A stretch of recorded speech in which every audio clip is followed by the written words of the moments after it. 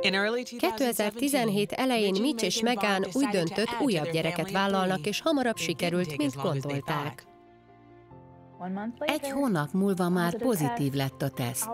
Gondoltam, ez igen, már is? Hát akkor legyen. Megan hamar rájött, hogy a második terhessége másmilyen volt. Nem éreztem jól magam. Azt hittem azért, mert olyan gyorsan történt. Hat hetesen elvetélt. Amikor megtudja az ember, hogy várandós, akkor egy anya elképzeli a gyereke egész életét. Nagyon hamar beleéltem magam. Nagyon gyorsan belém ivódott. Érthetetlen volt. Mindketten teljesen egészségesek voltunk, akkor mi erre a magyarázat? Megán Istent is kérdőre vonta. Tudtad, hogy fájni fog? Miért tetted? Kiáltottam Istenhez.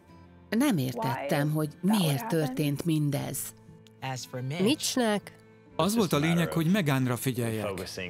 Mit tudok tenni, hogy segítsek neki? Mert olyan helyzet volt, amit nem lehetett helyrehozni.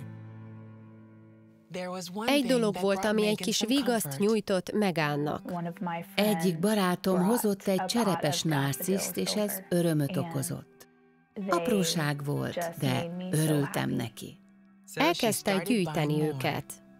Olyan élőlények voltak, amikért tudtam tenni, mert a kisbabám elvesztés ellen semmit nem tudtam tenni. Bár továbbra is gyászoltak, a pár eldöntötte, hogy újra próbálkoznak a terhességgel. Ekkor már nem volt olyan könnyű. Minden hónapban negatív lett a teszt. Utána elcsüggettünk. Ez ismétlődött folyamatosan akkoriban. Mitch mindent megtett, hogy bátorítsa Megánt, hogy tartsanak ki a hitben. Imádkozzunk tovább érte. És bármi is lesz a végeredmény, ha nem lesz több gyerekünk, akkor legyen békességünk ebben, kapjunk megnyugvást. De Megán egyre nehezebbnek érezte, hogy bízzon Istenben. Sokáig mérges voltam. Mérges Istenre, és mérges magamra, hogy miért nem tudtam megtartani a kisbabát. Mit csináltam rosszul? Egyre több növényt vett, hogy megbirkózzon a helyzettel. Nyáron Megán elmondta Mitchnek, hogy szeretne egy üvegházat. Olyan hely kellett neki, ahol gondozhatja és nevelheti a növényeit. Ez segít neki túllépni a fájdalmon, és ha én ebben tudom segíteni, akkor legyen. Egy igazi szerelem munka volt. Kint dolgozott minden nap egyedül, építette az üvegházat. Nagyon sokat jelentett, hogy a férjem építette nekem. A nyár elmúlt, a ház kezdett alakulni, de Megán még nem esett teherbe. Viszont újra bízni kezdett Isten szeretetében. Lassan jutottam el odáig, hogy békességem és megértésem legyen a vetéléssel kapcsolatban. Akkor tudtam megérteni a dolgokat, amikor már nem voltam mérges és frusztrált. 2018. április 3-án közel egy évvel a vetélés után Mitch és Megán az utolsó simításokat végezték az üvegházon. Ugyanazon a napon Megjelent, a szemei könyvbe lábadtak, és azt kérdezte, mi történik? Hihetetlen volt. És a kezembe nyomta a terhességi tesztet. Hát igen, mindketten sírtunk. Hét hónapi építés után, egy évnyi próbálkozás után, pont azon a napon adta tudtunkra Isten, hogy várandós vagyok, amikor befejeztük az építést. Ezt nem lehet máshogy látni, csak úgy, hogy Isten tette.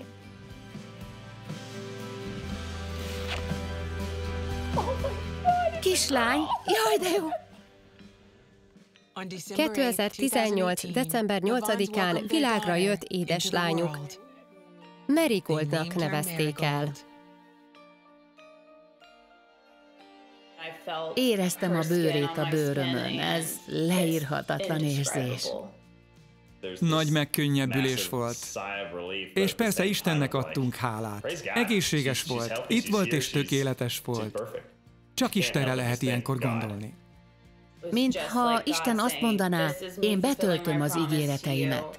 Nagy hála szabadult fel bennem Isten felé, mert tudtam, hogy nélküle ez nem történhetett volna meg. Mary Gold ma aktív kisgyermek, aki olyan gyorsan nő, mint Megán növényei. Az üvegház pedig Isten hűségének lett a jelképe, ami sokszor más emberek fontos eseményeinek is a helyszíne. Ha egy ember ettől jobban érzi magát, akkor már megérte. Addig nem látjuk a fényt, amíg nem lépünk hátra, és nem mondjuk, hogy Istenünk, használd ezt a helyzetet jóra, a te dicsőségedre. Istennek tökéletes terve van arról, hogy mit akar az életünkkel, mi a célja velünk.